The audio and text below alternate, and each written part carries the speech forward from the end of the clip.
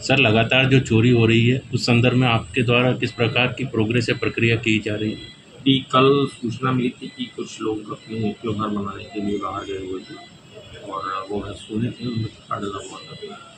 वहाँ लगभग चार पाँच दिनों के अंदर लगातार एक ही जगह पर माँ लक्ष्मी गौड़ा में चोरी हुई। है हालाँकि कल वो जो गृह स्वामी थे, वो नहीं आ पाए थे। आज वो उपस्थित हुए हैं, उनकी एफ़ आई आर दर्ज की जा रही है। वहाँ से C C T V footage भी हमने प्राप्त की है। उसमें चार लोग दिखाई पड़ रहे हैं। जिनके संदर्भ में विवेचना की जाकर उनको पकड़ा जाए और उनसे जितना मान है वो बताया जा रहा है सर यहाँ पर जो संख्या छः के समथिंग है तो क्या सही है वो मामला कि छः के समथिंग? हाँ जितने फरियादी उपस्थित आएँगे उतनी कार्रवाई हम करेंगे। हमसे जुड़े रहने के लिए हमारे YouTube चैनल को सब्सक्राइब करें और नए वीडियो की नोटिफिकेशन के लिए बेल आइकॉन को दबाएँ।